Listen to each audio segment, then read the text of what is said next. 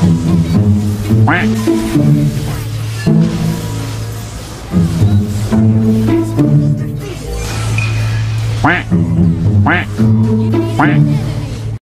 few moments later. Sẵn sàng thay đổi tất cả những gì mình có thể để trở thành phiên bản tốt hơn của mình, bởi ai cũng sẽ muốn hướng đến cái điều tốt đẹp nhất với mình và khi cơ hội đến thì em chắc chắn em sẽ nắm lấy và em sẵn sàng thay đổi.